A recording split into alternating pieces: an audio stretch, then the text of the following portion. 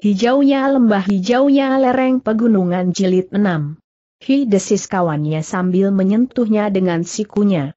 Mataku tidak dapat terbuka lagi jawab cantrik itu jika tiba-tiba datang seseorang merundukmu dan menusuk perutmu dengan pedang bertanya kawannya. Bukankah kau ada di situ jawabnya?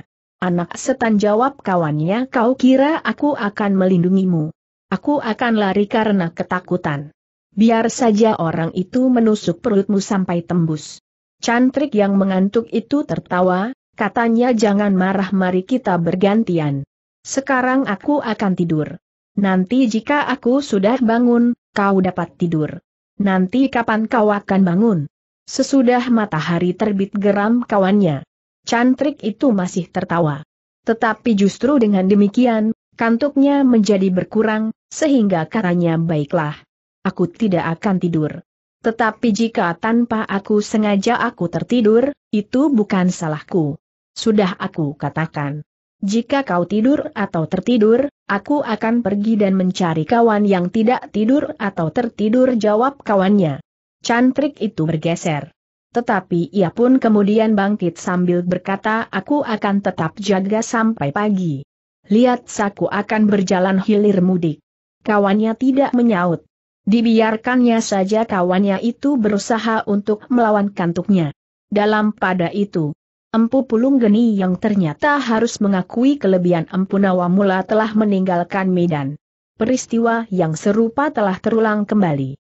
Bagaimanapun juga, ternyata bahwa Empu Nawamula memiliki kelebihan dari Empu Pulung Geni.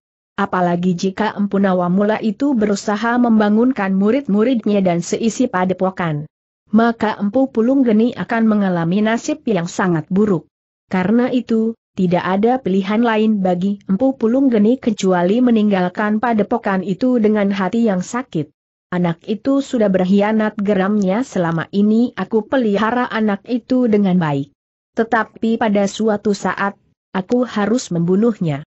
Tidak ada hukuman yang lain dari kematian bagi seorang pengkhianat.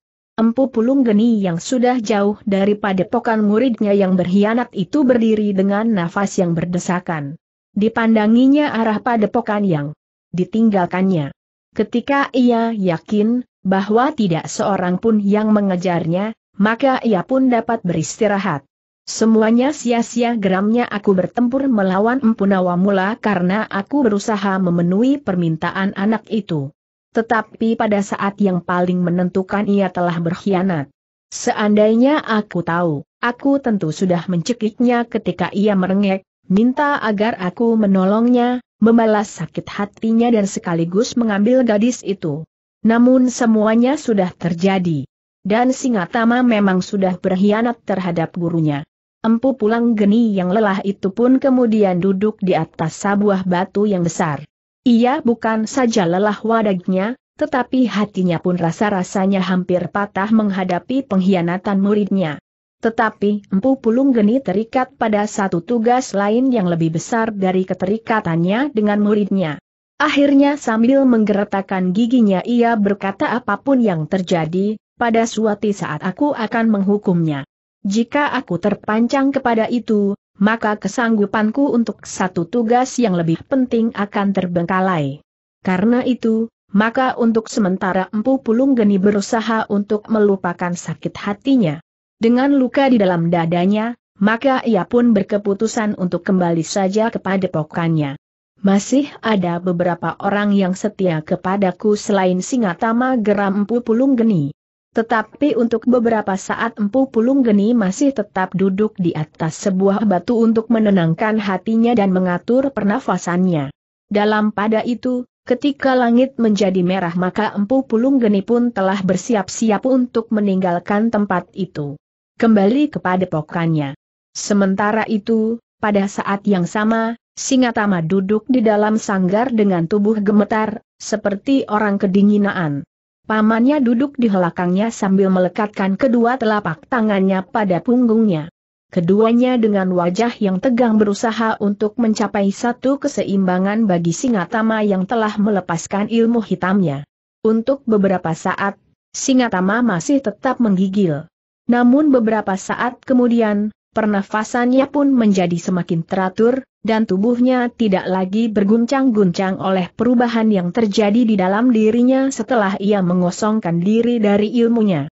Tepat pada saat langit menjadi cerah, maka Empu Nawamula sudah selesai dengan tugasnya. Singatama benar-benar menjadi seorang anak muda yang baru seolah-olah baru dilahirkan kembali setelah beberapa tahun lamanya ia bertualang di dunia kelam. Berdirilah berkata Empu Nawamula kemudian. Singatama kemudian bangkit berdiri. Tetapi hampir saja ia kehilangan keseimbangannya. Untunglah Empu Nawamula cepat menangkapnya dan membantunya berdiri tegak. Ada sesuatu yang asing di dalam diriku paman berkata Singatama. Ya, justru yang asing itu adalah pribadimu yang sebenarnya, yang sudah lama terselubung oleh ilmu hitamu kau memang merasa asing dengan dirimu sendiri, karena sudah terlalu lama kau kehilangan dirimu itu berkata Empu Nawamula. Singatama mulai menggerakkan tangan dan kakinya. Perlahan-lahan ia berjalan mengelilingi ruangan sanggar pamannya itu. Semakin lama langkahnya semakin mantap dan rasa-rasanya tenaganya pun telah pulih kembali kau telah kehilangan kemampuanmu untuk mempergunakan segala tenaga di dalam dirimu yang didorongkan oleh kekuatan ilmumu. Yang tersisa adalah tenaga wadakmu sewajarnya dan kemampuanmu dalam arti keterampilan tubuhmu. Tetapi kau tidak akan dapat membangunkan kekuatan di luar kemampuan wajarmu dengan ilmumu. Singatama menarik nafas dalam-dalam ketika ia mencoba menggerakkan tangan dan kakinya, pamannya berkata cobalah kau bukan tidak dapat berbuat apa-apa sama sekali. Ternyata Singatama yang kemudian menggerakkan tangan dan kakinya masih juga mampu mengingat unsur-unsur gerak dari ilmunya. Namun sebagai gerak wantah yang tidak mempunyai kekuatan pendukung selain tenaga wadaknya saja. Bagaimanapun juga, kau adalah kemanakanku berkata Empu Nawamula. Tetapi hal itu memang sudah dikehendaki. Singatama sama sekali tidak menyesal. Apalagi ia masih tetap mempunyai alat pelindung meskipun sekedar keterampilan gerak tubuhnya saja. Mulai esok, jika kau kehendaki, kau akan dapat mempelajari ilmu yang lain dari ilmu yang pernah kau miliki berkata pamannya. Aku akan melakukannya paman. Aku tidak mau kehilangan waktu terlalu banyak. Jika aku memerlukan waktu dua atau tiga tahun, untuk memiliki tataran ilmu yang akan paman berikan maka aku masih mempunyai kesempatan dalam umurku yang sekarang berkata Singatama. Baiklah. Kau membuat aku merasa sangat berbahagia sekarang ini. Seolah-olah aku telah menemukan sesuatu yang sangat berharga yang pernah hilang sebelumnya. Demikianlah, maka Singatama benar-benar bertekad untuk meruah cara hidupnya. Sejalan dengan hatinya yang ikhlas menanggalkan ilmu hitamnya, maka ia pun telah dengan berani minta maaf kepada Widati dan ayahnya atas tingkah lakunya. Aku tidak akan berharap apa-apa berkata Singatama kepada Kibuyut aku berusaha untuk menjadi orang baru. Meskipun aku tidak akan dapat melupakan perasaanku waktu itu, tetapi aku mulai mempergunakan nalarku. Terima kasih Angger Jawah Kibuyut mudah-mudahan dengan demikian, anakku akan mendapatkan ketenangan di dalam hidupnya. Ya Kibuyut sahut Singatama sekali lagi aku berjanji, bahwa aku tidak akan mengganggunya lagi. Aku tidak akan mempunyai kemampuan untuk berbuat sesuatu, apalagi memaksakan kehendakku, karena aku sudah kehilangan ilmuku. Mahisa Agni dan Witantra yang menyaksikannya, merasa tersentuh pula hatinya. Ia melihat kesungguhan pada Singatama untuk merubah cara hidupnya, sehingga ia telah banyak memberikan bukti kesungguhannya. Dengan demikian, maka Kibuyut pun merasa lebih tenang untuk kembali ke kabuyutannya yang sudah terlalu lama ditinggalkannya. Anak muda yang untuk beberapa lama menghantui anak gadisnya ternyata telah berubah sikap. Mahisa Murti dan Mahisa Pukat yang mendengar keputusan Singatama itu pun menjadi gembira. Dengan demikian, maka mereka tidak akan terikat untuk mengamati gadis itu saja. Mereka akan serapat melanjutkan perjalanan mereka untuk melihat-lihat hijaunya lembah-lembah yang membentang luas di telatah Singasari. Tetapi kedua anak muda itu masih mempunyai satu kewajiban untuk mengantarkan Widati kembali ke kabuyutannya. Namun dalam pada itu, Ternyata bahwa Mahisa Agni dan Witantra pun ingin juga kembali ke Singasari. Mereka akan berangkat bersama dengan Kibuyut dan anak gadisnya yang akan diantar oleh Mahisa Murti dan Mahisa Pukat. Pada hari yang sudah ditentukan, maka Kibuyut pun telah bersiap-siap. Meskipun demikian, ada juga kecemasan di hati Kibuyut meskipun Singatama telah merubah cara hidupnya. Jika di perjalanan itu mereka bertemu, secara kebetulan atau memang sudah direncanakan oleh Pempu Pulung Geni, maka nasib anak gadisnya tentu akan menjadi sangat buruk. Tetapi Mahisa Murti dan Mahisa Pukat telah menenangkan hati mereka. Dengan penuh kesungguhan Mahisa Pukat berkata kami akan berbuat sejauh dapat kami lakukan. Ki Buyut mengangguk-angguk meskipun ia masih juga meragukan. Tetapi bagaimanapun juga Mahisa Murti dan Mahisa Pukat tidak mengatakannya, bahwa kedua orang pamannya itu akan dapat menyelesaikan tanpa kesulitan seandainya mereka benar-benar bertemu dengan Empu Pulung Geni. Menurut pendapatku, Empu Pulung Geni telah meninggalkan tempat ini berkata Empu Nawamula ia tidak akan telatan menunggui sesuatu yang tidak berkepastian, sejak muridnya telah meninggalkannya Ki Buyut mengangguk-angguk. Ia percaya kepada Empu Nawamula karena menurut pendapatnya, Empu Nawamula memiliki ketajaman penglihatan jauh melampaui penglihatannya atas peristiwa yang baru saja terjadi itu. Dengan demikian, maka akhirnya Kibuyut dan anak gadisnya itu pun telah meninggalkan padepokan Empu Nawamula kembali ke kabuyutan mereka. Bersama mereka adalah Mahisa Murti dan Mahisa Pukat, serta Mahisa Agni dan Witantra. Ternyata di perjalanan mereka sama sekali tidak menjumpai hambatan apa pun juga. Perjalanan yang tidak mereka selesaikan dalam sehari. Tetapi mereka masih harus bermalam di perjalanan yang cukup panjang itu. Tetapi rasa-rasanya kegelisahan mereka telah jauh berkurang dari saat-saat sebelumnya, dengan demikian maka rasa-rasanya perjalanan mereka itu pun tidak merupakan perjalanan yang terlalu berat sebagaimana saat mereka berangkat. Bahkan ketika mereka harus bermalam di perjalanan. Widati merasakannya sebagai satu pengalaman yang menarik. Meskipun gelap malam membuatnya berdebar-debar, tetapi kehadiran orang-orang yang dapat dianggapnya sebagai pelindung yang meyakinkan, membuatnya menjadi lebih tenang. Ketika Mahisa Murti dan Mahisa Pukat menyalakan perapian di dekat tempat mereka akan bermalam di perjalanan, maka Widati telah mendekatinya. Hangatnya perapian ini desisnya. Kau belum mengantuk bertanya Mahisa Murti. Widati menggeleng. Katanya suara burung hantu itu membuat aku tidak dapat tidur. Mahisa Murti tersenyum. Katanya burung hantu itu dapat membuat bunyi yang lain. Dalam segala keadaan burung itu akan mengeluarkan bunyi yang sama. Widati mengangguk-angguk tetapi ketika tidak dengan sengaja ia mengangkat wajahnya dan memandang ke dedaunan pepohonan yang berwarna kehitam-hitaman, maka kulitnya serasa telah meremang.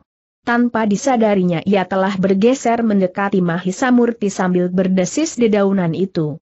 Mahisa Murti pun mengangkat wajahnya pula sambil bertanya kenapa dengan dedaunan itu? Menakutkan jawab Widati. Mahisa Murti tersenyum. Katanya jika demikian, Jangan memandang dedaunan itu. Di siang hari dedaunan itu nampak hijau segar. Tetapi dalam gelap, warna hijaunya menjadi gelap juga. Widati mengangguk. Katanya cahaya api itu membuat warna dedaunan itu menjadi aneh. Seperti wajah-wajah raksasa. Mahisa Pukat tertawa. Katanya raksasa yang akan menelan kita. Ah Widati beringsut semakin dekat. Jangan takut berkata Mahisa Pukat kemudian lihat saja bintang-bintang yang bertaburan itu. Menyenangkan sekali. Tetapi sekaligus memperingatkan kita, betapa kecilnya kita manusia di hadapan luasnya alam yang tidak dapat dimengerti itu. Widati mengangguk-angguk. Seleret nampak bintang yang berpindah tempat, meluncur dengan cepat. Dalam pada itu, Mahisa Agni dan Witantra masih juga duduk berhincang dengan Kibuyut beberapa langkah dari anak-anak muda yang duduk di perapian itu. Bagi Kibuyut pengalaman yang baru saja terjadi itu merupakan satu pengalaman yang menggetarkan hati.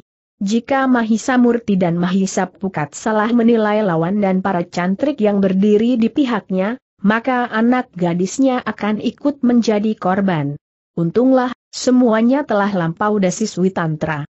Ya, tetapi rasa-rasanya masih ada yang menggelisahkan jawab Ki Buyut.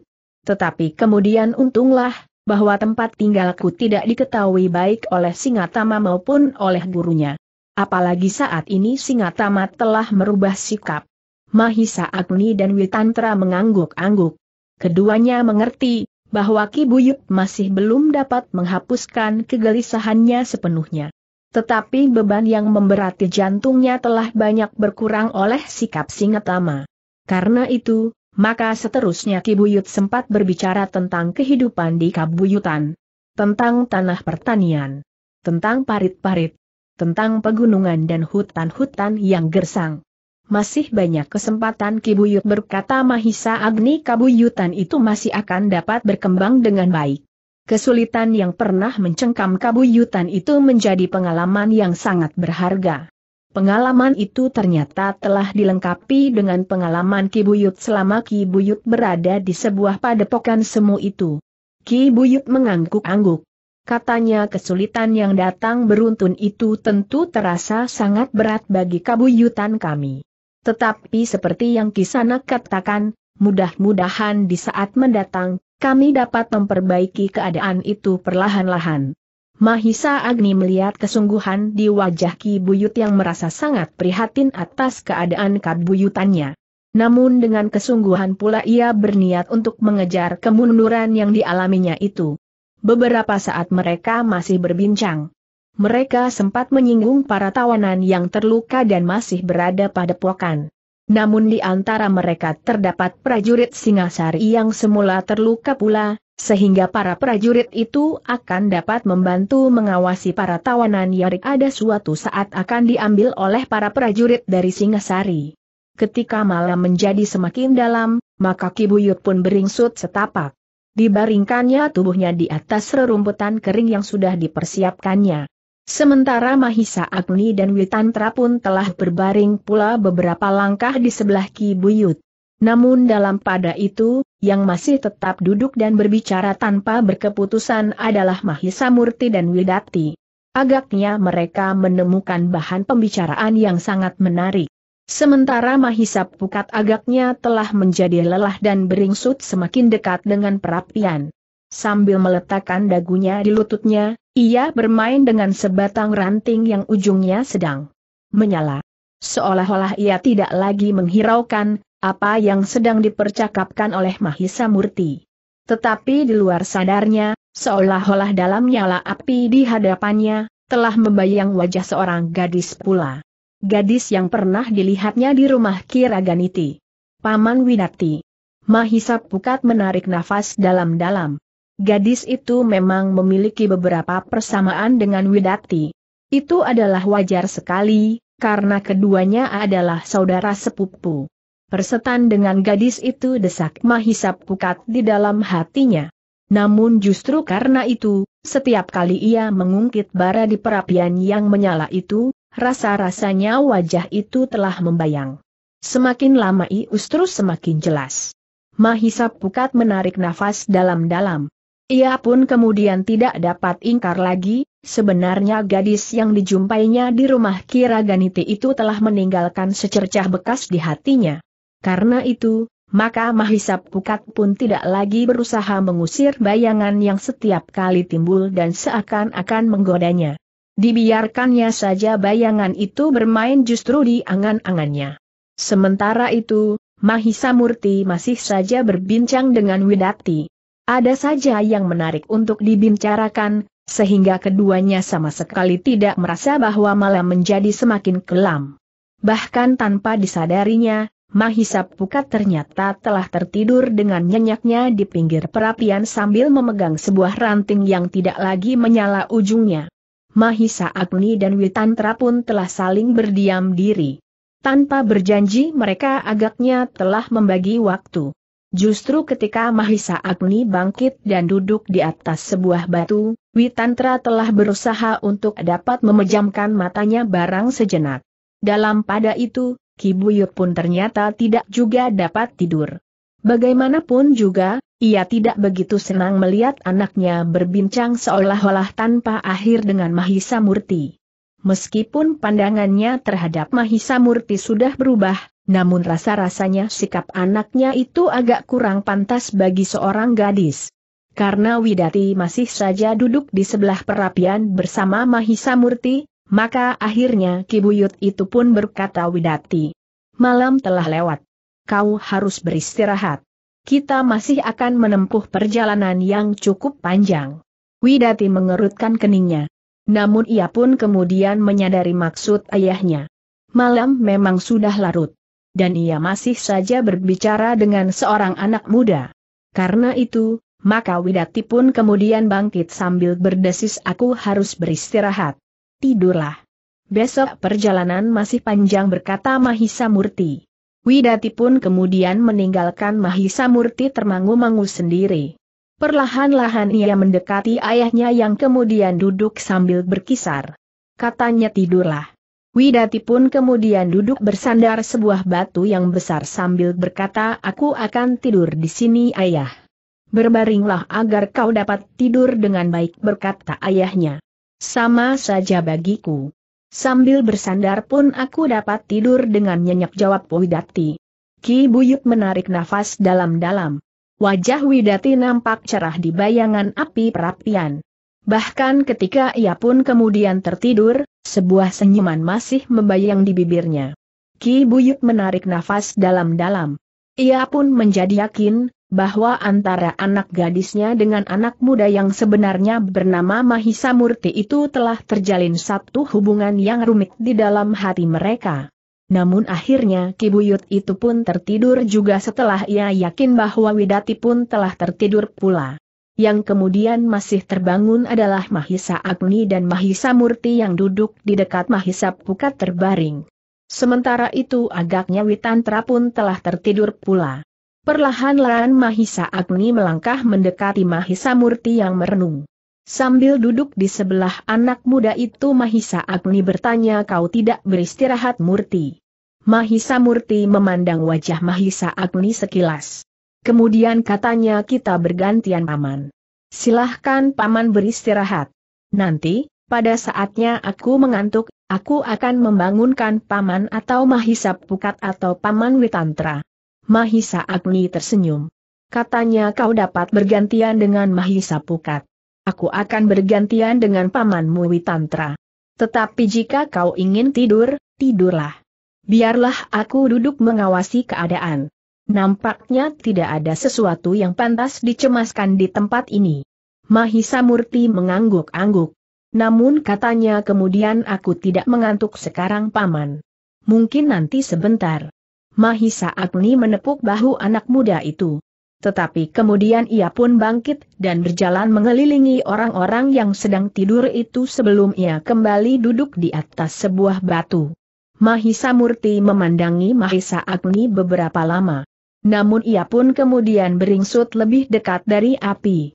Dilontarkannya beberapa potong ranting kering ke dalam api itu, sehingga untuk sempat, api pun melonjak semakin besar. Lewai tengah malam, Witantra telah terbangun dengan sendirinya. Setelah mengeliat, maka ia pun kemudian duduk di sebelah Mahisa Agni sambil berkata aku tertidur nyenyak sekali. Kau belum lama tertidur jawab Mahisa Agni. Namun Witantra menyahut sambil memandangi bintang-bintang di langit sudah cukup lama. Bintang-bintang telah bergeser terlalu jauh. Mahis Agni menarik nafas dalam-dalam. Sambil menunjuk Mahisa Murti yang masih duduk di tepi perapian Mahisa Agni berkata anak itu belum sempat tidur. Witantra mengangguk.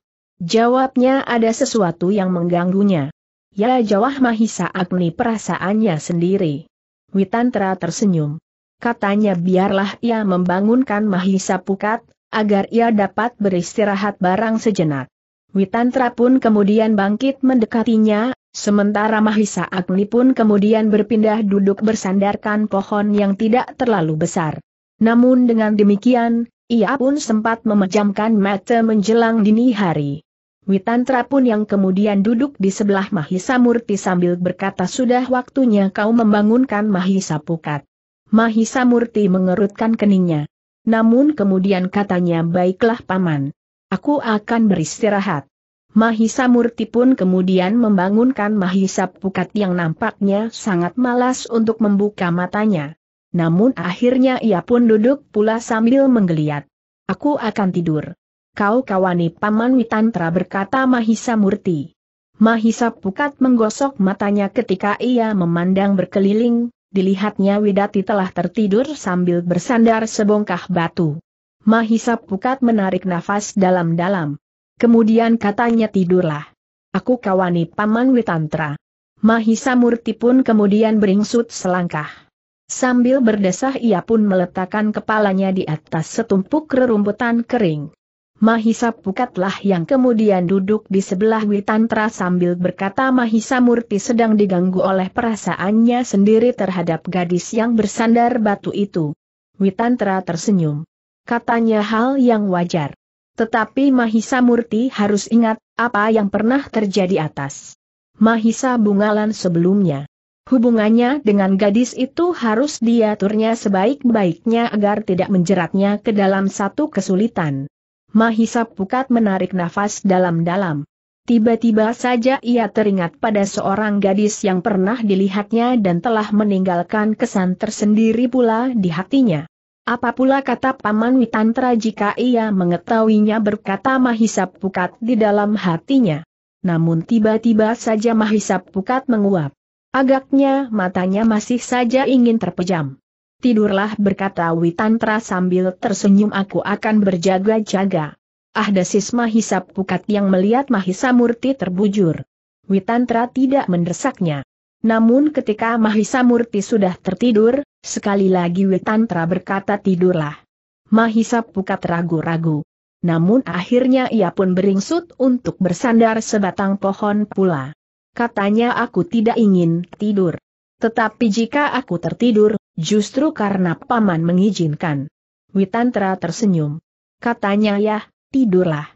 Mahisa Pukat pun kemudian tersenyum. Namun akhirnya matanya pun telah terpejam pula. Tidak ada yang menarik terjadi malam itu, selain permainan perasaan anak-anak muda yang ada di antara iring, iringan yang sedang beristirahat itu.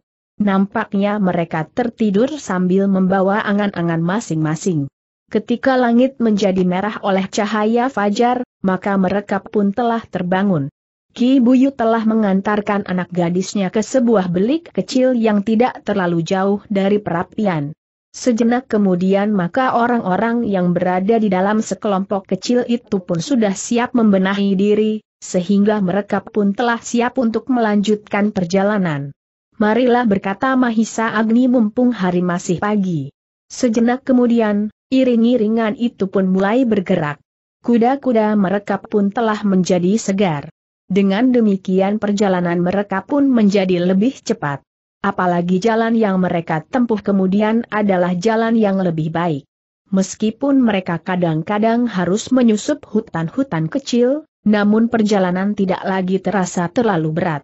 Namun mereka tidak dapat menempuh perjalanan sepanjang hari tanpa beristirahat untuk makan dan minum. Bagi orang-orang yang terbiasa hidup dalam pengembaraan dan berada di dalam lingkungan olah kanuragan, hal itu tidak akan banyak terasa mengganggu. Tetapi tentu tidak bagi Widati dan Ki Buyut. Karena itu, ketika matahari yang terik menyengat ujung pepohonan, maka iring-iringan itu pun mendekati sebuah pasar yang telah menjadi sepi. Tetapi masih ada satu dua buah kedai yang melayani para pembelinya. Kita singgah sebentar berkata Mahisa Murti yang mengetahui keadaan Widati. Sebenarnya Mahisa Agni dan Witanta ingin memperingatkan Mahisa Murti karena, jumlah mereka agaknya akan dapat menarik perhatian. Tetapi mengingat keadaan Widati, maka keduanya akhirnya mengambil satu sikap yang lain. Mahisa Murti berkata Mahisa Agni kau, Mahisa Pukat dan Kibuyut serta anaknya, singgahlah di kedai itu. Biarlah aku menunggu di tempat yang terpisah, agar tidak terlalu menarik perhatian. Nampaknya jumlah kita terlalu banyak untuk sekelompok pejalan biasa. Mahisa Murti mengerutkan keningnya. Kemudian katanya kepada Mahisa Pukat perlahan-lahan bagaimana pendapatmu? Aku mengerti pendapat Paman Mahisa Agni berkata Mahisa Pukat karena itu, agaknya kami persilahkan Paman Mahisa Agni dan Paman Witantra untuk singgah di kedai yang satu, sedang kita akan singgah di kedai yang lain. Baiklah berkata Mahisa Murti yang kemudian mendekati Kibuyut sambil berkata marilah. Kita akan dapat singgah di kedai itu sebentar. Kibuyut tidak menolak. Ia tahu bahwa anak gadisnya benar-benar telah ras dan lapar. Karena itu, maka mereka pun telah menggeser arah kudanya, berbelok menuju ke pasar yang telah sepi itu. Tetapi ketika mereka memasuki sebuah kedai dan Mahisa Agni serta Witantra memasuki kedai yang lain, maka Kibayot pun telah bertanya kenapa kedua pamanmu itu tidak bersama-sama dengan kita di sini? Mahisa Murtilah yang berbisik di telinga Ki Buyut tidak apa-apa. Sekedar untuk mengurangi perhatian orang. Supaya mereka tidak bertanya-tanya, seolah-olah kita sedang mengungsi dengan anak cucu. Ki Buyut mengerutkan keningnya. Namun kemudian ia pun tersenyum sambil mengangguk-angguk. Sejenak kemudian, mereka pun telah duduk di dalam kedai itu. Meskipun pasar itu sudah sepi, tetapi masih ada juga beberapa orang yang berada di kedai itu. Agaknya di sudut pasar beberapa orang pandai besi masih sibuk menyelesaikan pekerjaannya. Mahisa Agni dan Witantra yang berada di kedai yang lain, di luar sadar telah memperhatikan pandai besi itu.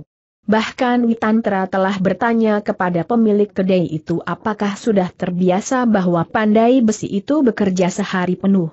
Tidak kisanak jawab pemilik kedai itu biasanya mereka selesai sebelum tengah hari.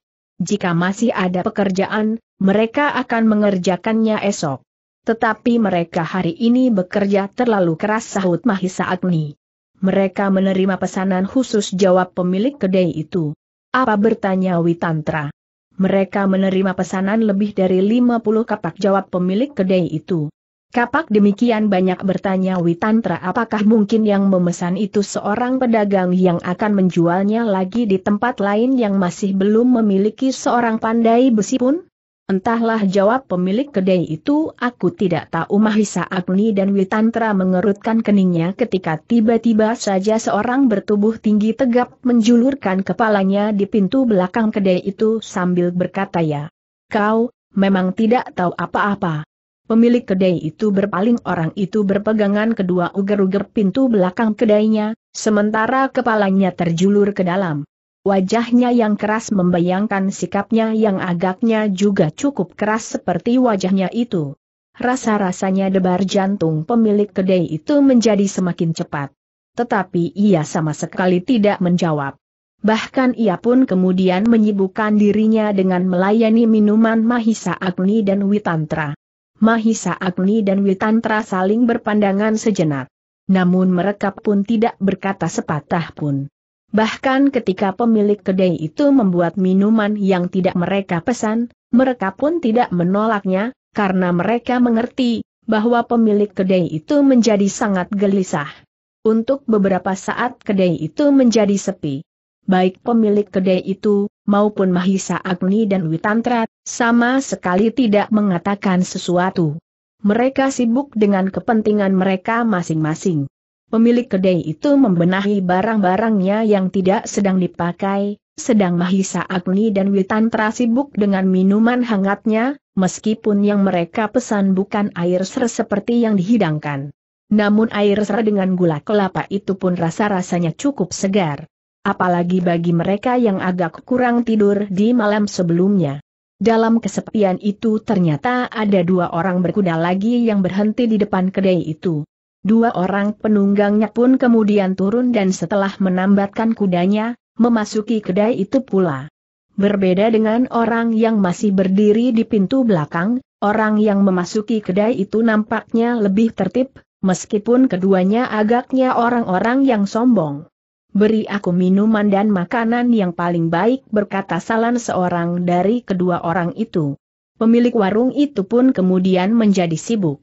Seperti yang dibuatnya untuk Mahisa Agni dan Witantra, maka ia pun telah membuat minuman air ser dengan gula kelapa bagi kedua orang tamunya yang baru itu.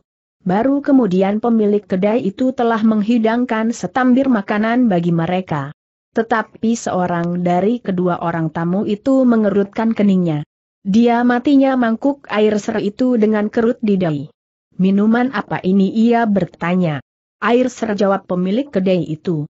Orang itu mencicipi air ser itu setitik. Namun tiba-tiba saja ia melemparkan mangkuk itu sambil membentak gila. Kau beri minum apa aku hi? Pemilik kedai itu terkejut bukan buatan. Air yang masih hangat itu telah terpercik ke tubuhnya. Sambil bergeser surut ia pun menjawab itu adalah jenis minuman yang paling baik di sini kisanak. Kau gila geram orang itu beri aku minuman yang lebih baik. Apa yang kisanak maksudkan bertanya pemilik kedai itu termangu-mangu. Tuak. Beri aku tuak sebumbung geram orang itu. Pemilik kedai itu menjadi tegang.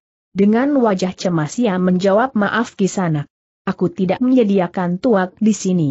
Yang ada hanyalah minuman-minuman panas. Air ser, air salam dan barangkali dawet legen jika dikehendaki. Aku dapat memesan di ke sebelah. Cukup bentak orang itu beri aku tuak. Hi, kau dengar. Pemilik kedai itu menjadi bingung. Sekali lagi ia mencoba menjelaskan aku tidak mempunyai tuak di sana. Aku tidak peduli. Apakah kau akan membeli, atau mencuri atau merampok? Aku perlu tuak kau dengar. Pemilik kedai itu menjadi gemetar. Ia tidak pernah menjumpai pembeli yang tidak mau tahu, apakah ia mempunyai persediaan jenis makanan atau minuman yang dikehendaki. Kesan Mahisa Agni dan Witantra terhadap itu pun segera berubah. Jika semula mereka hanya menganggap dua orang itu agak sombong, namun akhirnya mereka pun melihat kekasaran orang yang tidak mereka kenal itu. Selagi pemilik kedai itu termangu-mangu, maka salah seorang dari keduanya membentak sambil menghentakkan tangannya pada paga bambu di hadapannya cepat, sebelum aku robohkan kedaimu ini. Demikian kerasnya orang itu menghentakkan tangannya, sehingga mangkuk Mahisa Agni dan Witantra pun telah bergoncang, sehingga minuman hangat di dalamnya telah memercik pula ke tubuh mereka. Tetapi baik Mahisa Agni maupun Witantra masih tetap berdiam diri tanpa berbuat sesuatu menyaksikan sikap itu. Namun dalam pada itu, yang tiba-tiba saja menyahut adalah orang yang berwajah kasar yang berdiri di pintu belakang itulah yang menyahut kau jangan gila kisana. Kau sudah dengar bahwa di kedai ini tidak ada tua? Kedua orang itu tiba-tiba saja telah berpaling. Dengan kerut di dahi, seorang di antara mereka bertanya siapa kau? Tiba-tiba saja jawab orang itu mengejutkan Mahisa Agni dan Witantra aku saudara pemilik kedai ini. Aku tidak senang melihat kesombonganmu seperti itu. Persetan teriak yang seorang. Tetapi yang lain justru tertawa sambil berkata kau orang gila juga seperti saudaramu pemilik warung ini. Kau jangan ikut campuri. Orang yang berdiri di pintu belakang itu melangkah masuk. Wajahnya yang garang menjadi semakin garang. Dalam pada itu, Mahisa Agni dan Witantra masih tetap berdiam diri. Namun keduanya mengerti, kenapa orang yang berdiri di pintu belakang itu telah ikut campur. Agaknya ia telah merasa tersinggung, seolah-olah kedua orang yang baru datang itu adalah orang-orang yang paling menakutkan di muka bumi. Sehingga dengan demikian, didorong oleh harga dirinya yang menghentak maka orang itu pun telah ikut campur. Kisanak berkata orang berwajah garang itu aku minta kalian secepatnya meninggalkan kedai ini sebelum aku mengambil sikap. Apa yang akan kau lakukan bertanya salah seorang dari kedua orang itu. Mengusir kalian dari tempat ini. Siapa kalian jawab orang berwajah kasar itu. Sekali lagi orang-orang itu tertawa. Salah seorang berkata kau belum mengenal aku. Karena itu, kau berani berkata seperti itu. Orang berwajah garang itu menggeram. Katanya sudah aku katakan, siapa pun kalian, kalian harus pergi dari tempat ini. Kedua orang itu saling berpandangan sejenak. Yang seorang kemudian berkata apa boleh buat sebenarnya kita tidak ingin berbuat apa-apa di sini. Tetapi orang ini telah menjerumuskan dirinya sendiri ke dalam kesulitan.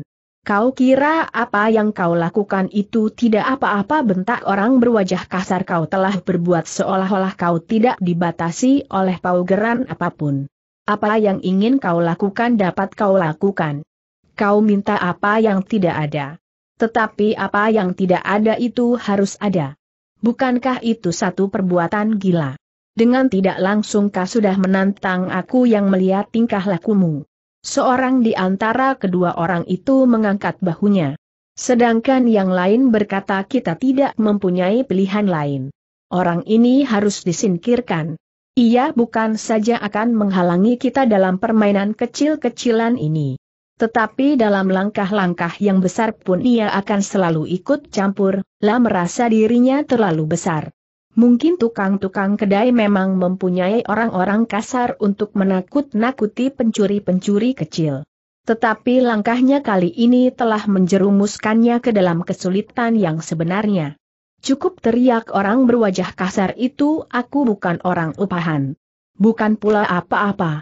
Jika aku ingin mengusir kalian, karena kesombongan kalian telah menyinggung harga diriku. Kedua orang itu menarik nafas dalam-dalam. Sejenak keduanya terdiam. Namun tiba-tiba yang seorang berkata marilah kisana. Aku ingin memperlihatkan kepadamu, bahwa aku dapat merobek mulutmu. Orang berwajah kasar itu menggeram. Tetapi ia membiarkan kedua orang itu melangkah keluar. Agaknya keduanya ingin berada di tempat terbuka, apa pun yang akan terjadi. Orang berwajah garang itu pun kemudian menyusulnya. Ketika kedua orang itu berhenti di halaman kedai itu maka orang berwajah garang itu pun telah bersiap. Kemarahan telah membakar jantung orang berwajah garang itu karena sikap kedua orang yang menurut penilaiannya sangat sombong dan tidak tahu diri itu kau tetap pada pendirianmu bertanya salah seorang dari kedua orang itu. Ya, aku muak melihat orang-orang gila seperti kalian berdua. Sangat menjengkelkan. Kalian minta apa yang tidak ada geram orang berwajah kasar itu. Dalam pada itu, salah seorang dari kedua orang itu melangkah maju sambil berkata bersiaplah. Jangan hanya seorang geram orang berwajah kasar itu majulah bersama-sama. Tetapi orang yang menghadapinya itu membentak ternyata kau lebih sombong dari kami berdua. Cepat, jangan banyak bicara lagi. Orang berwajah kasar itu memang tidak menunggu. Justru ia telah meloncat dan menyerang lawannya dengan garangnya. Sejenak kemudian perkelahian di antara keduanya telah terjadi. Semakin lama semakin sengit. Dalam pada itu, Mahisa Agni dan Witantra pun telah bergeser tetapi mereka masih tetap berada di dalam kedai itu bersama pemilik kedai yang ketakutan. Aku akan menutup kedai ini suara pemilik kedai itu menjadi gemetar. Jangan ditutup sahut Mahisa Agni mereka akan menjadi semakin marah. Kedua orang itu akan dapat membakar kedaimu. Tetapi siapa pun yang memang, aku akan menjadi sasaran. Apalagi jika kedua orang itu nanti memaksa untuk mendapatkan tuak. Dari mana aku harus mengambilnya suara pemilik warung itu gemetar. Mudah-mudahan mereka menginginkan yang lain.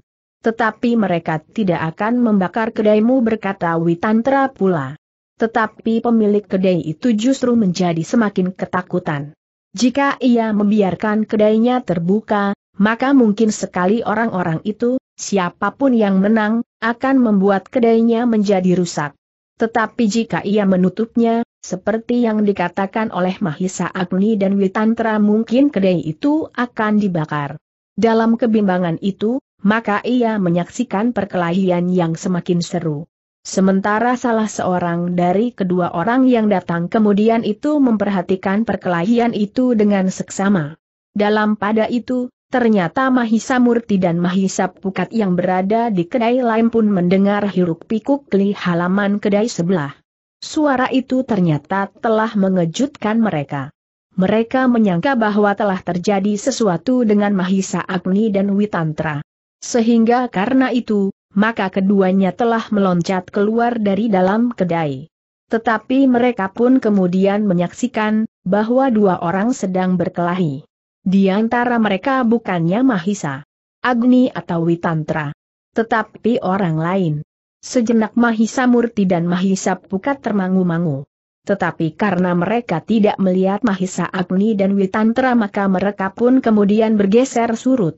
Sementara orang-orang itu berkelahi semakin sengit, maka orang-orang yang tersisa di pasar itu pun menjadi ribut. Pandai besi yang masih bekerja itu pun dengan cepat mengenai barang-barangnya dan memadamkan perapiannya. Dalam pada itu, pemilik kedai sebelah telah berkata kepada Mahisa Murti dan Mahisa Pukat masuklah, agar kalian tidak disandang ikut campur dalam persoalan yang tidak kalian ketahui. Mahisa Murti dan Mahisa Pukat menjadi termangu-mangu. Mereka ingin tahu, apa yang sebenarnya telah terjadi. Tetapi mereka pun nampaknya tidak ingin ikut campur dalam persoalan yang tidak mereka mengerti. Apalagi nampaknya Mahisa Agni dan Witantra pun tidak ikut campur pula. Dalam pada itu, pemilik kedai itu pun berkata silahkan masuk di sana. Aku akan menutup saja kedai ini. Jika perkelahian itu berkembang, maka lebih baik kita sudah tidak berada di tempat ini. Maksudmu bertanya Mahisa Murti. Aku akan menutup kedaiku dan kemudian pulang saja berkata pemilik kedai itu. Lalu aku juga ingin mempersilahkan Kisanak untuk meninggalkan tempat ini. Apakah perkelahian itu akan dapat berkembang bertanya Mahisa Pukat. Pemilik kedai itu bergumam silahkan masuk. Aku akan menutup kedaiku. Kita akan pergi lewat pintu belakang saja. Mahisa Murti dan Mahisa Pukat tidak menjawab. Keduanya pun kemudian masuk ke dalam kedai. Sementara itu, Kibuyut dan Widati nampak menjadi cemas. Agaknya telah terjadi satu perselisihan yang gawat di antara orang-orang yang tidak mereka kenal. Namun demikian, agaknya Mahisa Pukat masih belum puas bahwa pertanyaannya belum terjawab. Karena itu, maka sekali lagi ia bertanya apakah pertempuran ini masih akan berkembang? Mungkin sekali. Nampaknya salah satu pihak tidak seorang diri jawab pemilik kedai itu. Ya, nampaknya mereka berdua. Tetapi agaknya mereka bersikap jantan, sehingga mereka berkelahi seorang melawan seorang berkata Mahisap Pukat pula.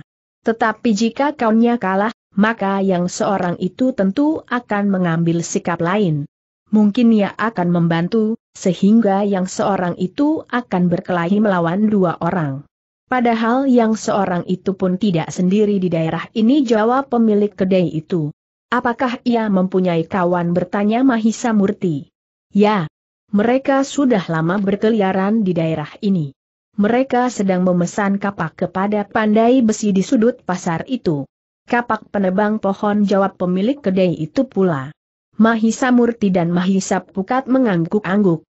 Namun mereka pun kemudian harus berkemas, ketika mereka melihat pemilik kedai itu bersiap-siap untuk pergi. Tetapi keterangan pemilik kedai itu memang menarik perhatiannya. Orang yang sedang bertempur itu, ternyata mempunyai banyak kawan. Sedang mereka berada di tempat itu untuk memesan sejumlah kapak penebang pohon. Marilah kisanak berkata pemilik kedai itu kita keluar lewat pintu belakang. Tetapi tiba-tiba saja Mahisa Murti bertanya kita akan pergi ke mana? Jika kita keluar dari kedai ini, apakah kita tidak justru menarik perhatian? Kuda-kuda kami ada di depan kedai ini. Pemilik kedai itu termangu-mangu sejenak. Namun kemudian katanya mereka sedang berkelahi. Mereka tidak akan memperhatikan kita. Tetapi saat kami mengambil kuda-kuda kami sahut Mahisa Pukat. Pemilik kedai itu mengerutkan keningnya. Kemudian ia pun bertanya jadi apa yang akan kalian lakukan?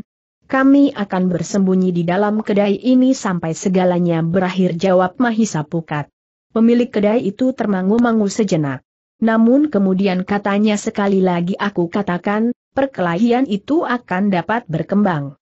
Tetapi mereka tidak akan menghiraukan kami yang ada di dalam kedaimu ini jawab Mahisa Pukat. Orang itu merenung sejenak. Namun akhirnya ia pun berkata baiklah. Kita akan tetap berada di sini. Nampaknya mereka tidak akan mengganggu orang-orang lain yang tidak mencampuri persoalan mereka. Terima kasih berkata Mahisa Murti namun demikian, Agaknya menarik juga untuk mengintip mereka dari celah-celah dinding agar kita dapat mengikuti perkembangan yang terjadi. Pemilik kedai itu tidak melarang dan tidak berkeberatan ketika kemudian Mahisa Murti dan Mahisa Pukat berusaha untuk mengintip perkelahian itu. Meskipun mereka tidak dapat melihat dalam keseluruhan, tetapi mereka dapat melihat sebagian dari apa yang terjadi, sehingga mereka mendapat kesan, perkembangan dari perkelahian itu. Ternyata perkelahian itu semakin lama menjadi semakin seru. Keduanya memiliki kemampuan yang cukup, sehingga dengan demikian maka keduanya telah menunjukkan kelebihan mereka. Bukan saja kekuatan wadak mereka, tetapi juga kecepatan gerak dan kemampuan mereka mempergunakan unsur-unsur gerak yang membahayakan lawan. Mahisa Agni dan Witantra masih memperhatikan pertempuran itu dengan seksama. Tetapi mereka sama sekali tidak memberikan kesan, bahwa mereka dapat mengetahui apa yang sedang mereka saksikan, yang mereka lakukan adalah, seolah-olah mereka menjadi cemas melihat perkembangan yang terjadi.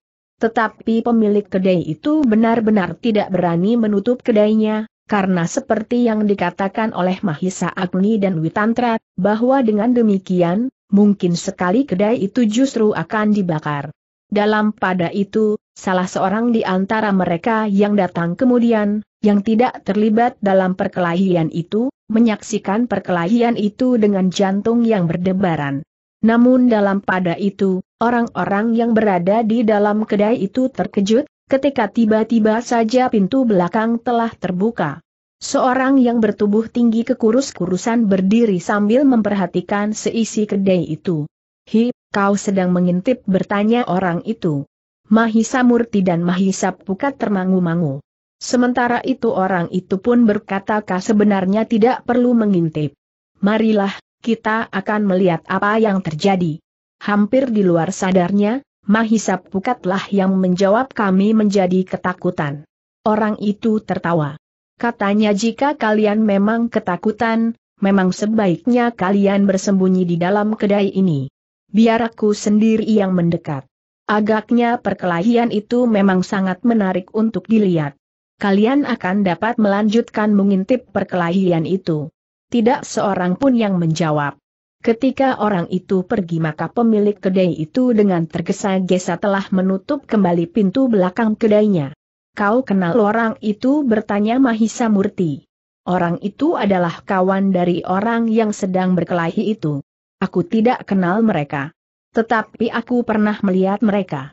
Agaknya mereka akan berada di tempat ini sampai pesanan mereka selesai jawab pemilik kedai itu. Kapak-kapak itu bertanya Mahisa Pukat. Ya jawab pemilik kedai itu pula. Mahisa Murti dan Mahisa Pukat tidak bertanya lagi. Mereka telah berusaha untuk mengintip lagi, apakah yang akan terjadi di antara orang-orang yang sedang berkelahi itu. Dalam pada itu, maka orang yang bertubuh tinggi kekurus-kurusan itu pun telah mendekati arna perkelahian yang menjadi semakin seru. Dengan nada dataria pun kemudian berkata marilah kita menonton bersama-sama. Orang yang datang berkuda berdua dengan orang yang sedang berkelahi itu termangu-mangu. Ternyata ada orang lain yang datang tanpa ragu-ragu. Siapa kau bertanya orang itu? Aku kawan orang yang sedang berkelahi itu jawab orang yang bertubuh tinggi kekurus-kurusan. Lalu kenapa kawanmu itu berkelahi dengan kawanku? Aku mendengar dari anak-anak yang berlari-lari ketakutan. Kawanmu telah mencampuri urusan kami jawab orang itu. Urusan apa bertanya orang tinggi itu? Tidak apa-apa. Apakah kau juga akan turut campur bertanya orang berkuda itu? Hanya jika perlu. Jika tidak perlu, aku akan menonton saja di sini. Nampaknya perkelahian itu sangat sengit. Keduanya memiliki ilmu dan kemampuan yang seimbang. Jika kau merasa ilmumu setingkat dengan kawanmu itu, maka jika kita berkelahi, akan menjadi sangat seru pula. Siapa yang membuat kesalahan, akan tidak diampuni lagi. Nyawanya akan menjadi taruhan orang bertubuh tinggi itu terdiam sejenak. Lalu hi, apakah kau berniat demikian? Anak setan geram orang berkuda itu aku akan menunggu sejenak. Tetapi pada saatnya aku akan memperhatikan kesombonganmu itu. Orang bertubuh tinggi itu tertawa. Tetapi ia tidak menjawab. Dalam pada itu, Perkelahian itu pun sebenarnya menjadi semakin sengit. Keduanya saling mendesak. Mereka telah bertempur dengan mempergunakan senjata masing-masing. Sekali-sekali terdengar senjata itu berdentang. Namun kemudian senjata-senjata itu berputaran bagaikan baling-baling. Bahkan kadang-kadang terdengar senjata-senjata itu bagaikan bersuit nyaring jika tebasan mendatar serta ayunan serangan yang sangat keras membelah udara. Sementara kedua orang itu berkelahi, kawannya yang datang bersama-sama berkuda itu menjadi haran. Di tempat yang terpencil dan sepi itu ada juga orang-orang yang memiliki ilmu yang tinggi. Karena itu, hampir di luar sadarnya ia bertanya kepada orang bertubuh tinggi yang berdiri beberapa langkah daripadanya Hi, apakah kau juga orang padukuhan ini? Orang bertubuh tinggi itu menggeleng. Sambil memperhatikan pertempuran itu ia berkata aku bukan orang padukuhan ini. Demikian pula kawanku itu. Orang berkuda itu mengangguk-angguk kenapa kalian berada di sini? Itu urusan kami. Tetapi mungkin ada baiknya kau mengetahui bahwa aku sedang menunggu pesanan kami pada pandai besi di sudut pasar itu. Tetapi karena sulahmu, ia sekarang menjadi ketakutan dan menghentikan kerjanya, padahal aku tergesa-gesa. Dalam beberapa hari ini, pesananku harus sudah selesai jawab orang bertubuh tinggi itu. Kau pesan apa bertanya orang berkuda itu? Bukan pula urusanmu jawab orang bertubuh tinggi tetapi ia berkata kami memesan kapak penebang kayu. Orang berkuda itu mengerutkan keningnya. Lalu katanya Hi, kau memesan kapak. Kapak penebang kayu? Ya, kenapa bertanya orang bertubuh tinggi itu? Tunggu. Apakah kau kawan orang yang bernama? Sambu bertanya orang berkuda itu. Ya, Sambu adalah kawanku yang berkelahi itu jawab orang bertubuh tinggi itu.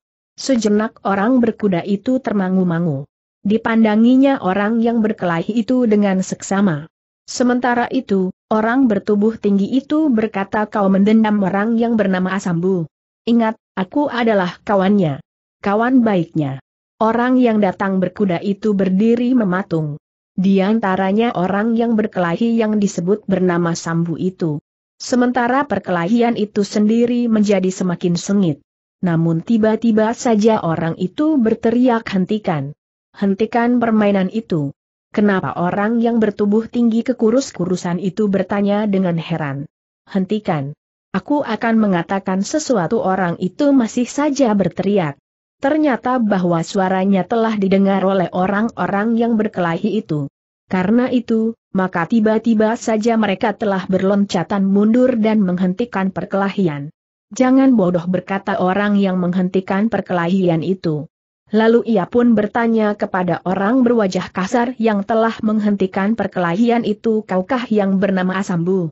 Orang berwajah kasar itu termangu-mangu. Namun ia pun menjawab ya. Aku yang disebut orang Sambu. Tiba-tiba orang berkuda itu tertawa.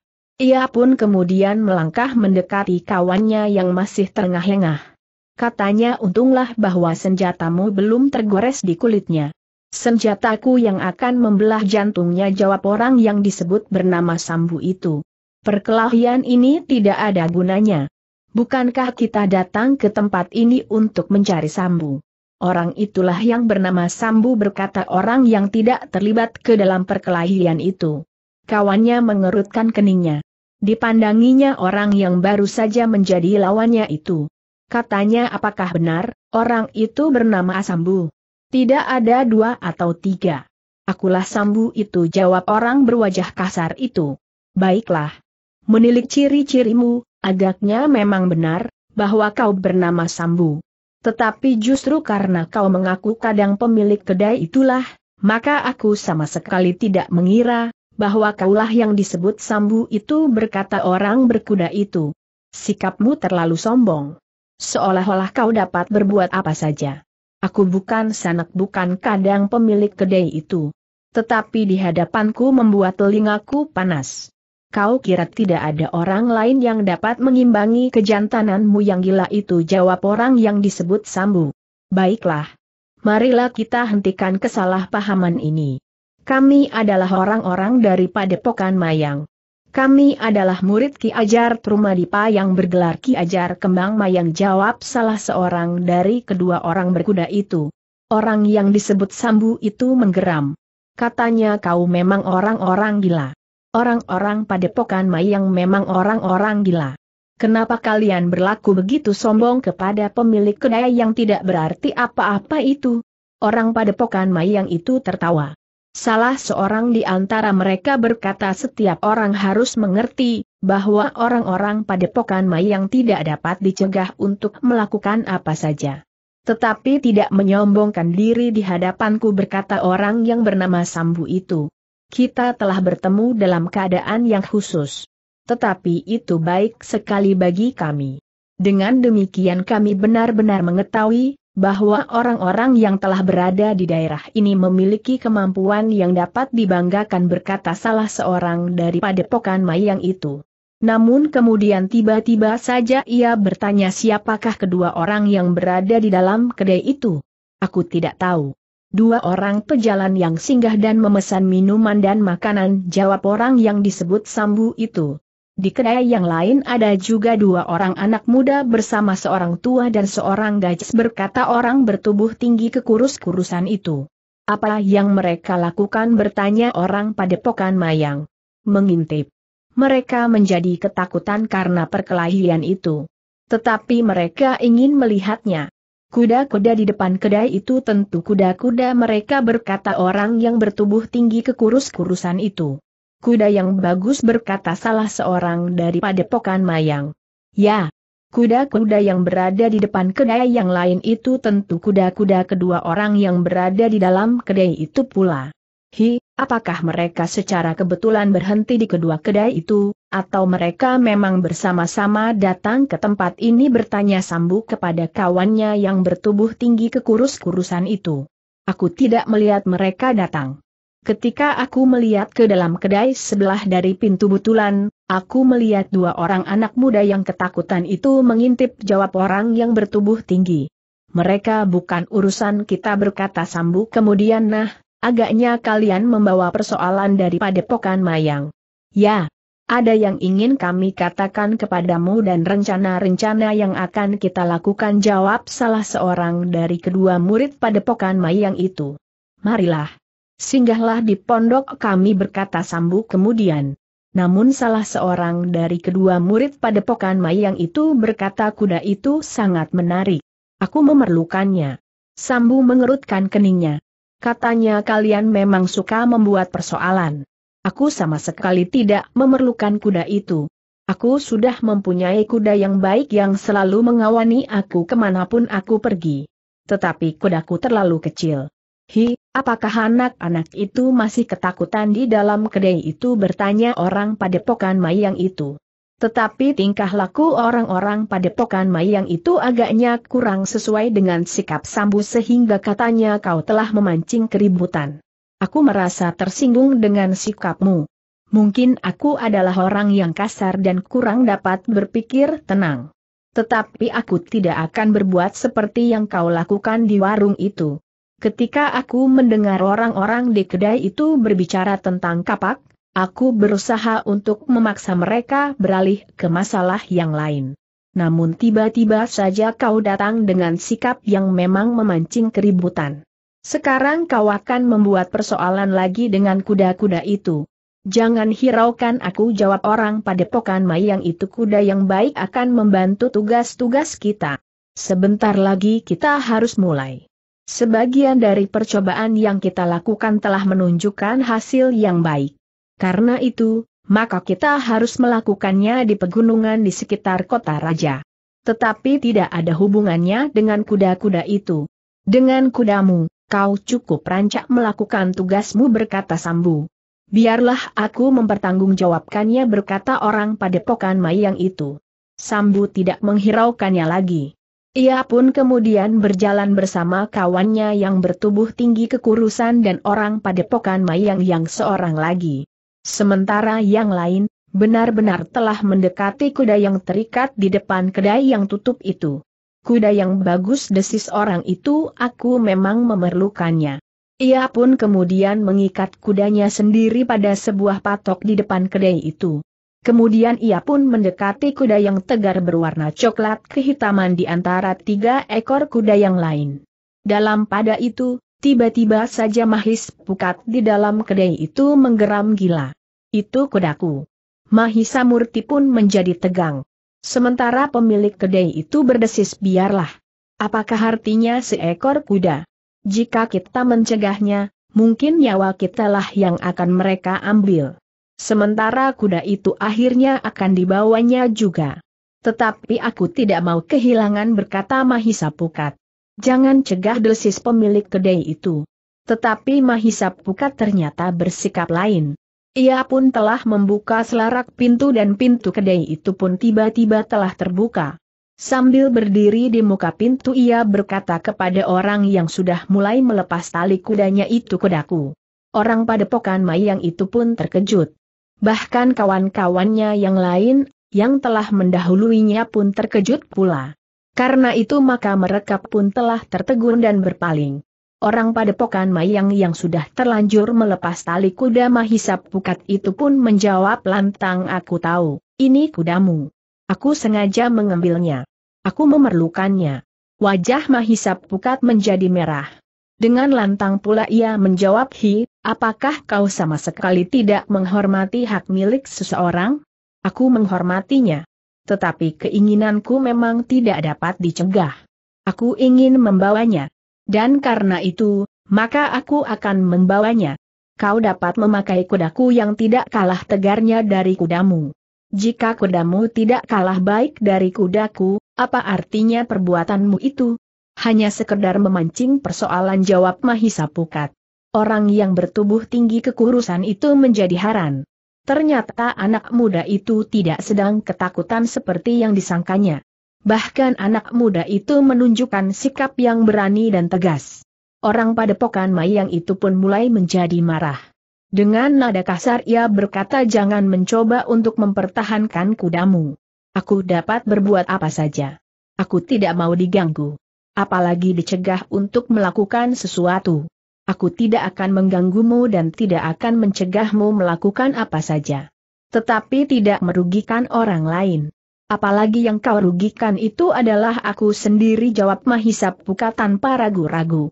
Jika kau merasa dirugikan, kau mau apa orang padepokan Mayang itu pun telah kehilangan kesabaran. Tetapi Mahisap Puka tidak menjadi takut. Ia pun melangkah ke depan mendekati orang padepokan Mayang itu sambil berkata lepaskan kudaku, jika kau tidak ingin terjadi keributan.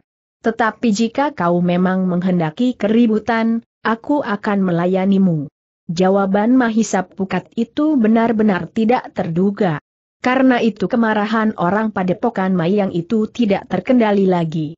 Setiap kali ia memang tidak mau ditantang oleh siapa pun juga, sehingga karena itu, maka setiap kali ia telah mempergunakan kekerasan. Karena itu, maka ia pun telah melepaskan kuda yang diinginkannya itu. Dengan langkah satu-satu ia pun mendekati Mahisap Pukat pula sambil berkata anak muda. Kau belum mengenal aku. Kau akan menyesal, jika kau mengetahui siapa aku sekali lagi jawaban Mahisap Pukat membuat telinga orang itu menjadi panas kau pun belum mengenal aku. Jika kau sudah mengenal aku, maka kau tidak akan berani menyentuh kudaku. Siapa kau teriak orang padepokan mayang itu? Siapa pun aku, Aku akan membuktikan bahwa kau harus berjongkok dan minta ampun kepadaku jawab Mahisap Pukat yang merasa sangat tersinggung oleh tingkah laku orang itu. Mahisa Murti yang kemudian juga keluar dari kedai itu menarik nafas panjang melihat sikap Mahisa Pukat. Tetapi ia pun mengerti, bahwa Mahisa Pukat benar-benar menjadi marah. Orang itu benar-benar telah menghinanya dengan mengambil kudanya dengan paksa. Tetapi orang itu pun tidak kalah marahnya. Dengan nada tinggi ia berteriak jangan menentang orang-orang dari padepokan mayang. Kami akan membunuh jika kami ingin membunuh. Jika kau lebih sayang kepada kudamu daripada kepada nyawamu, marilah. Mendekatlah. Oh, jadi kau orang dari padepokan mayang.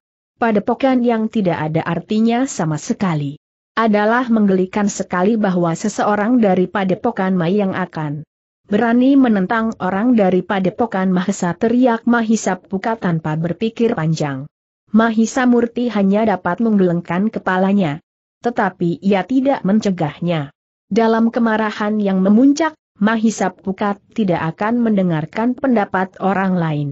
Dalam pada itu, orang dari padepokan Mayang itu pun menjadi sangat marah, sehingga ia tidak lagi dapat mengendalikan dirinya.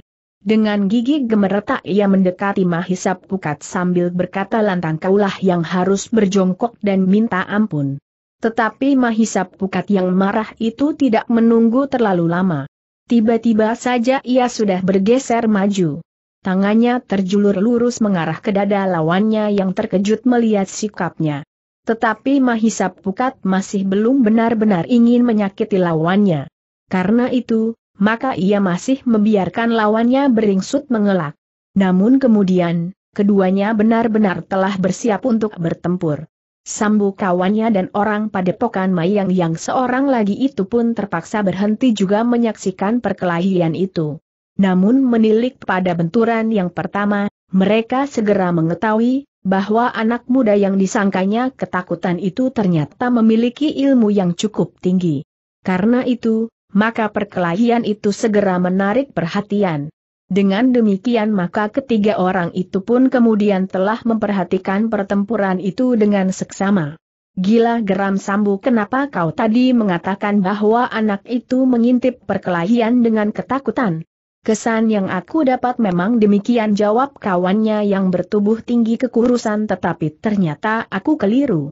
Atau mereka dengan sengaja membuat kesan yang demikian.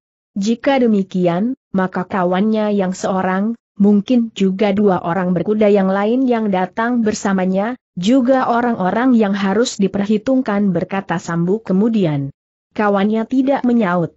Tetapi sekilas dipandanginya Mahisa Murti yang berdiri termangu-mangu.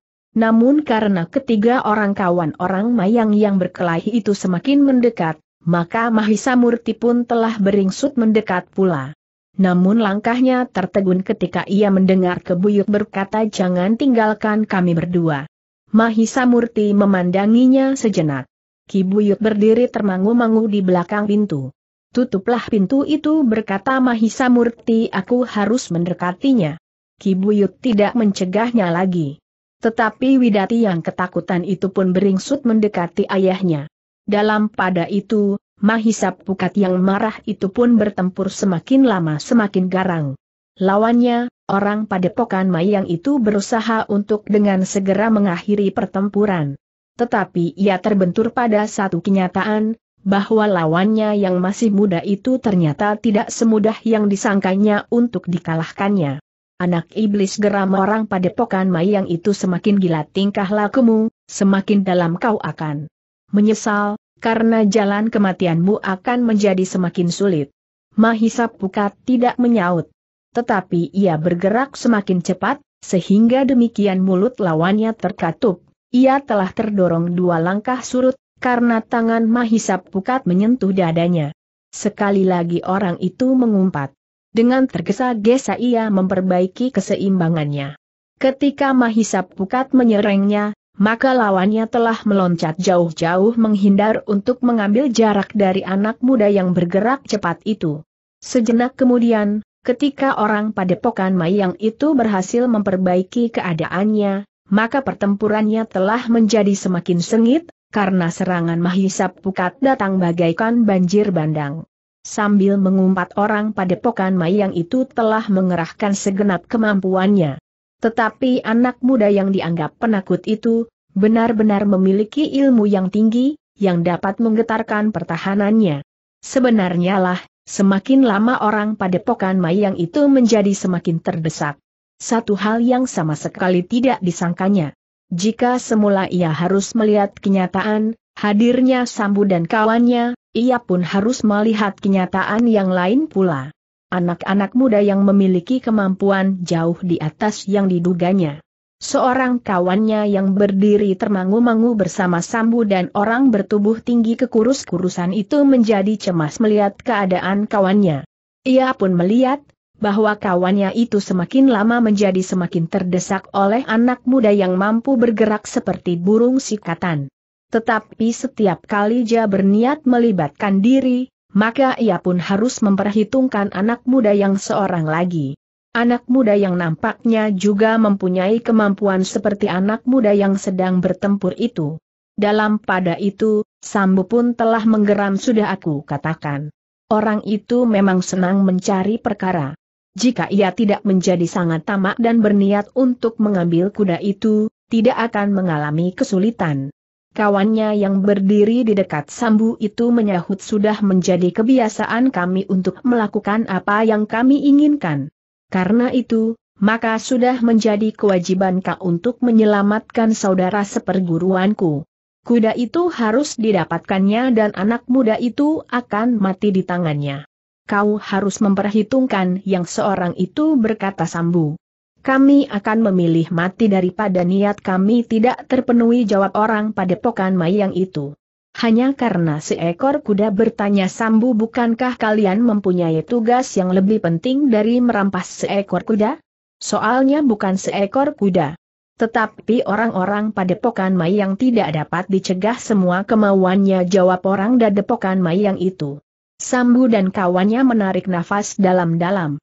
Dengan nada berat Sambu berkata kalian memang orang-orang sombong yang tidak tahu diri kau minta pemilik kedai itu mengadakan apa yang tidak ada, dan tidak mungkin diadakannya. Sekarang kalian memaksa diri untuk mendapatkan seekor kuda dengan mengorbankan tugas. Tugas kalian yang lebih besar dan lebih berarti. Aku tidak mengerti cara kalian berpikir. Karena kalian tidak mempunyai harga diri yang pantas jawab orang pada pokan mayang itu. Coba katakan. Apakah dengan merampok seekor kuda itu kalian mempunyai harga diri bertanya Sambu. Orang padepokan mayang itu mengerutkan keningnya. Namun kemudian jawabnya semua kehendak kami harus terjadi. Aku tidak turut campur dengan persoalanmu aku bukan ukuran perampok kuda yang tidak berarti. Orang padepokan mayang itu memandang Sambu dan kawannya dengan wajah yang tegang. Katanya jadi kau tidak berpihak kepada kami? Bukankah aku datang ke tempat ini untuk mencarimu? Bukankah dengan demikian ada hubungan di antara kita? Ya, kita mempunyai hubungan dalam tugas besar kita. Bukan sebagai perampok kuda. Kita berbicara tentang kapak penebang kayu dan persiapan untuk satu kerja besar itu jawab Sambu aku akan berpihak kepadamu dalam persoalan yang penting itu tetapi tidak dalam persoalan-persoalan yang tidak berarti seperti yang kalian lakukan itu. Orang padepokan mayang itu termangu-mangu. Namun kemudian ia menggeram persetan dengan pengecut seperti kalian. Aku akan berbuat sebaik-baiknya sebagaimana anak padepokan mayang. Aku tidak mau harga diriku dinodai dengan penolakan atas kehendak kawanku untuk memiliki kuda itu. Sungguh-sungguh pikiran gila geram sambu tetapi ia tidak meninggalkan tempat itu. Bahkan ia masih menyaksikan pertempuran itu dengan seksama. Sementara itu, maka orang padepokan Mayang yang tidak sedang bertempur itu pun mendekat. Wajahnya benar-benar menjadi tegang. Ia tidak mengingkari kenyataan, bahwa kawannya benar-benar telah terdesak. Meskipun demikian, tidak ada niatnya untuk mengurungkan maksudnya memiliki kuda Mahisa Pukat. Orang itu masih berharap, bahwa anak muda yang berdiri di luar arna itu, tidak memiliki kemampuan seperti anak muda yang sedang bertempur itu. Bahkan orang itu menganggap bahwa dirinya memiliki kelebihan dari kawannya yang berkelahi melawan Mahisa Pukat itu. Karena itu, maka ia telah bertekad untuk membantu kawannya apabila kawannya itu benar-benar terdesak, dengan perhitungan, bahwa anak muda yang seorang lagi akan ikut serta bertempur pula. Dalam pada itu, Mahisa Agni dan Witantra pun termangu-mangu melihat persoalan yang telah berkisar itu. Semula pemilik kedai itu telah dapat menarik nafas lega ketika orang-orang yang berselisih itu mengakhiri perkelahian dan bahkan mereka pun telah beranjak pergi. Tetapi persoalannya justru berkembang lagi. Yang kemudian terlihat ke dalam perselisihan itu, adalah orang-orang yang sedang berada di kedai sebelah. Seharusnya anak-anak muda itu tidak melayaninya berkata pemilik kedai itu. Orang itu akan mengambil kudanya jawab Mahisa Agni. Ia tidak akan mengambilnya. Tetapi akan menukarnya. Bukankah dengan demikian akan lebih baik daripada anak muda itu harus bertempur melawan orang-orang berilmu tinggi berkata pemilik kedai itu. Lalu dengan perkelahian itu, maka ia akan dapat bukan saja kehilangan kudanya, tetapi juga nyawanya. Nampaknya kedua orang berkuda itu adalah orang-orang yang keras pada sikapnya disediakan tuak tanpa mengerti sama sekali, bahwa aku tidak akan dapat mengusahakannya dengan apa pun juga. Mahisa Agni dan Witantra menarik nafas dalam-dalam. Tetapi mereka tidak dapat menjawab bahwa sudah sewajarnya jika anak muda itu mempertahankan kuda mereka. Dalam pada itu, perkelahian antara Mahisa Pukat dan salah seorang dari padepokan Mayang itu menjadi semakin seru. Tetapi juga menjadi semakin jelas, bahwa Mahisa Pukat akan dapat menguasai keadaan. Karena itu, maka kawannya yang seorang pun bergeser semakin dekat, lah tidak dapat melihat kawannya dikalahkan dan kuda itu tidak akan dapat dimilikinya. Tetapi ia pun sadar, bahwa ia harus memperhitungkan anak muda yang juga bergeser semakin dekat itu. Anak setan geram orang padepokan mayang itu kawanmu telah menjerumuskan dirinya sendiri ke dalam kesulitan yang tidak akan dapat diatasinya. Mahisa Murti mengerutkan keningnya. Namun ia pun menjawabnya kau benar-benar tidak tahu, atau sekedar pura-pura tidak tahu untuk membesarkan hatimu sendiri. Kawanmu menjadi semakin terdesak. Sebentar lagi, kawanmu itu akan kehabisan tenaga dan ia akan terkapar dengan lemahnya. Aku bunuh kawanmu geram orang padepokan itu. Jika kau memasuki arna, kau pun akan mengalami nasib seperti kawanmu. Kehabisan nafas dan tenaga jawab. Mahisa Murtihi, apakah kau tidak melihat, bahwa saudaraku itu tidak melakukan serangan-serangan yang dapat benar-benar membahayakan jiwa kawanmu itu.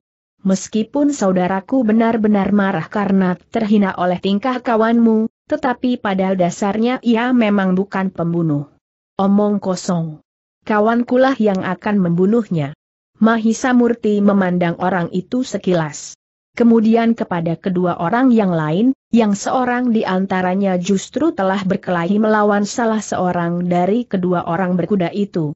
Namun yang ternyata mereka adalah orang-orang yang harus saling berhubungan dalam tugas-tugas yang sangat menarik perhatian. Tetapi agaknya kedua orang itu sama sekali tidak tertarik untuk ikut campur. Keduanya mengamati perkelahian itu dengan tegang. Tetapi keduanya tidak bergeser dari tempatnya ketika orang berkuda itu menjadi kecemasan. Dalam pada itu, maka lawan Mahisap Pukat itu benar-benar tidak mempunyai banyak kesempatan lagi. Tenaganya menjadi semakin lemah dan nafasnya pun menjadi semakin tersengal-sengal di lubang hidungnya. Dengan demikian, kawannya dari padepokan Mayang itu menjadi gelisah. Ia dihadapkan pada satu kenyataan tentang kekalahan kawannya. Tetapi ia pun tidak dapat mengingkari bahwa anak muda yang seorang itu akan ikut menentukan pula jika ia turun ke arna.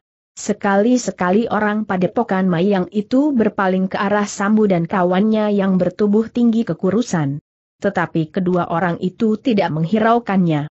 Agaknya mereka benar-benar berpegang kepada satu keputusan untuk tidak ikut campur dalam persoalan yang disebutnya perampokan seekor kuda.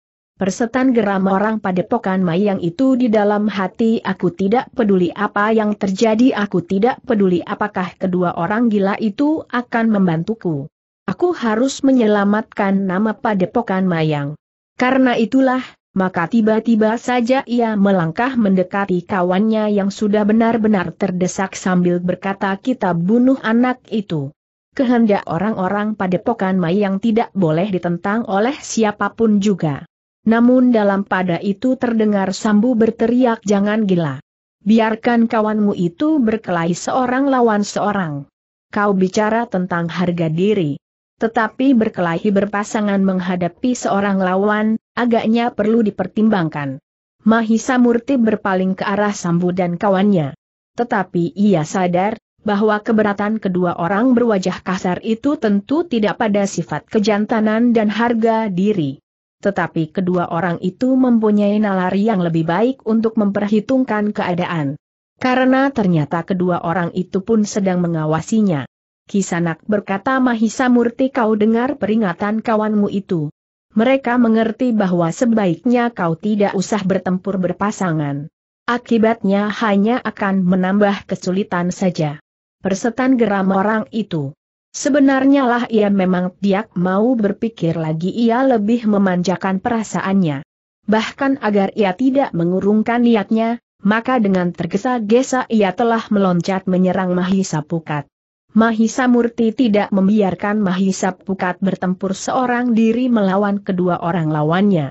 Meskipun Mahisa Pukat akan memenangkan perkelahian melawan seorang di antaranya, namun melawan dua orang bersama-sama, masih harus dipertimbangkan, apakah ia akan mampu melakukannya. Namun ketika Mahisa Murti mendekat, terdengar Mahisa Pukat berkata tunggu. Aku akan membuktikan bahwa kegilaan mereka berdua tidak ada gunanya.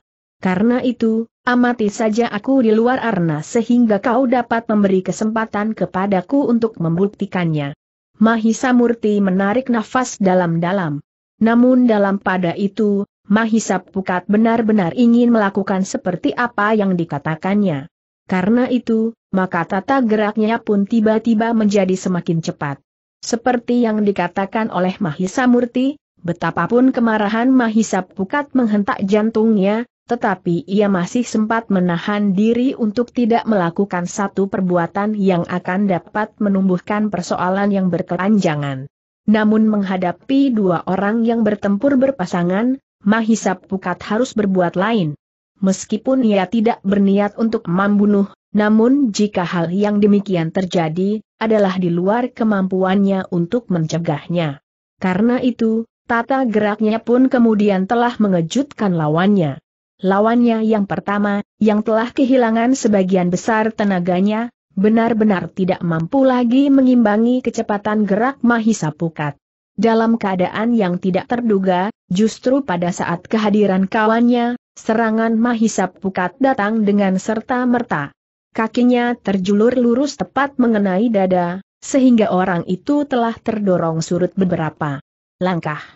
Bahkan tubuhnya kemudian tidak lagi dapat dikuasainya, sehingga orang itu telah terjatuh, meskipun dengan serta-merta ia masih mampu untuk bangkit. Mahisa Pukat tidak dapat memburunya. Karena lawannya yang baru telah menyerangnya pula. Sejenak kemudian, maka Mahisa Pukat pun telah berloncaran dengan cepatnya menghadapi kedua lawannya. Tetapi seorang di antaranya benar-benar hampir tidak berdaya. Sehingga dengan demikian, maka Mahisa Pukat tidak hanya mengalami kesulitan dalam perkelahian itu. Namun demikian, karena ia mendapat lawan yang masih segar, maka ia pun harus berbuat sebaik-baiknya, agar ia dapat mengimbangi lawannya. Dalam pada itu, Sambu berdiri termangu-mangu. Sekali-sekali terdengar ia mengumpat orang gila itu telah membuat persoalan menjadi bertambah rumit. Apakah kita benar-benar akan dam saja bertanya orang yang bertubuh tinggi kekurusan? Sambu tidak segera menjawab. Diperhatikannya pertempuran itu dengan seksama. Ia pun kemudian melihat, bahwa Mahisa Pukat yang muda itu berhasil mendesak kedua lawannya, orang-orang dari Padepokan Mayang. Salah mereka sendiri tiba-tiba saja Sambu bergumam. Tetapi jika keduanya kalah, apakah tidak akan berakibat buruk pula bagi kita jawab orang yang tinggi. Kekurusan. Kenapa bertanya Sambu? Kedua orang itu dapat menganggap kita tidak bersahabat. Dengan demikian, maka hubungan kita untuk selanjutnya dengan orang-orang padepokan Mayang akan menjadi buruk. Padahal kita akan saling memerlukan dalam kerja yang besar itu bagi kepentingan kediri jawab orang yang bertubuh kurus. Aku sudah memperingatkan jawab Sambu tetapi mereka sama sekali tidak menghiraukan.